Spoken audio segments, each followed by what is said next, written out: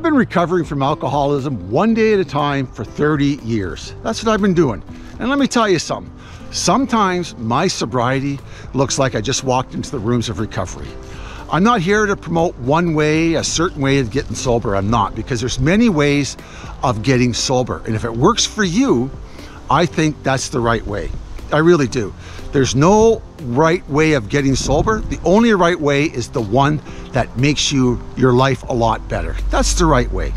But there's a lot of guys on YouTube promoting their methods and how to and you know motivation and all that. If it was that easy, we wouldn't need all this rehab and all these psychotherapists getting helping alcoholics. We wouldn't need all that if it was that easy. Alcoholism is a disease of the mind, the emotions, and physical. It's in three parts. It's in three parts. But I just want to point out something. You know, I've been in recovery, like I said, for a number of years. A lot of people respond on my YouTube channel, and there's a common theme that comes through all the time with people in early recovery. And I'm talking like one day to six months, maybe to a year. And they're having difficulties. Some of them are relapsing. A lot of people don't last. Believe it or not, a lot of people don't get one year in recovery. The first year is the most difficult. But there's one theme, like I said, that comes through all the time when I read the comments. And that is alcoholics, for some reason, when they come into recovery, they think that they are an island. They want to isolate from the rest of the world. They don't want to ask for help or get out there and get some support. They don't want to. We want to, as alcoholics, and I did it myself, as alcoholics, we want to do it by ourselves. And I'm pretty sure that comes naturally because when we are in active alcoholism or active addiction, the world can be a very lonely place. You know, for myself, it was a very lonely place. My world got very small. My friends and family abandoned me. I had to sort of survive one day at a time through this mental insanity, these ups and downs of life caused by active addiction to alcoholism by myself. And I became pretty good at it. I did it for a number of years. I survived by myself when it came to money, housing, food, all that stuff without the help of anybody else. So coming in to recovery, for some reason, well, that's not some reason, that is the reason, we feel that we need to do it by ourselves. We can do this by ourselves. If we throw enough willpower at it, if we throw another enough energy at it, we will get sober. When we think crazy thoughts, you know, if we throw another enough energy at it, those crazy thoughts will leave. The reality of it is, we cannot change ourselves. We can't change by ourselves. And that's one of the major cornerstones of recovery. We have to find support from other methods, either psychotherapy, therapists, family members, people in recovery, church groups, friends, girlfriends, family, whoever it may be. We cannot do recovery by ourselves. It's kind of impossible or next to being impossible. If you are a recovering alcoholic, if you are, want re recovery and you suffer from the disease of alcoholism, one of the ingredients in getting recovery is reaching out and get help. And I know it's hard. I believe me, I know it's hard to tell people your crazy thoughts, to share your pain with people, to tell them things you can't do, to tell them things that you're afraid of, to tell them your regrets, your guilt, to tell them like, you know, how do I get a job sober? How do I have sex sober? How do I, you know, I had a problem hanging up the telephone when I was sober, believe it or not. It's, it's crazy.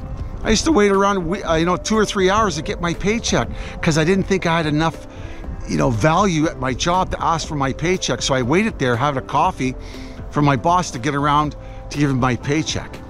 And I lived that kind of life. I lived a crazy life. Just because we sober up, it doesn't mean that we have recovery. It just means we have stopped the drinking of alcohol. But the insanity in the behaviors continue.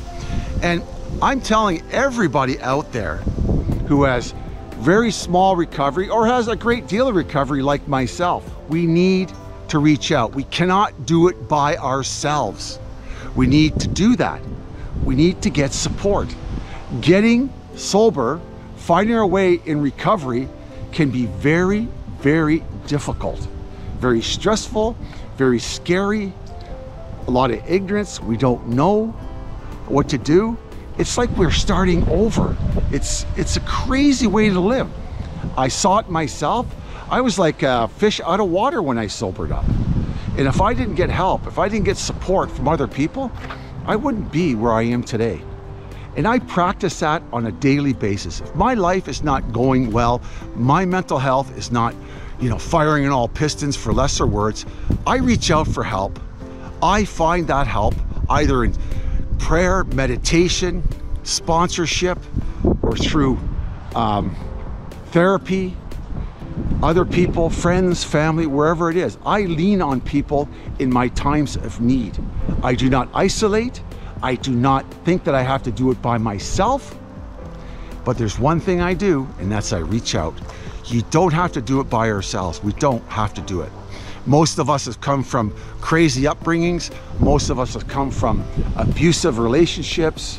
Most of us have been crazy in our lives. Our behavior has been so out of whack. We're ashamed of ourselves, but that's okay. Everybody does it in addiction. You're no different than anybody else, believe it or not. But we think we're different. We think we can master the, the, the recovery bit by ourselves. I'm just going on. I'm just rambling. I'm just telling you the same thing over and over again. The main thing I want to tell you, you need to reach out, you need to get some support from other people and learn that you are not an island in the days of alcoholism, behavior, isolating, think the world is against you, you got to take it on or done. Those days are done, okay? Help yourself by reaching out and help others when they need your support. And I guarantee it, I guarantee it, that your life your sober life will improve. And if you're going through hell, just keep walking, do not drink. You'll get through it and things will come together for you, believe it or not. I do the exact same thing that I'm just telling you in this video. I still do it after 30 years. When my life is going off the rails, I reach out. I reach out. Just remember, we admit it. We were powerless over alcohol and our lives have become unmanageable. We did that. Not I, all of us did that, okay? So reach out, get some support, lean on some people, help other people one day at a time, and your life will get much, much better, or it'll get less stressful, that's for sure. Okay, ciao for now.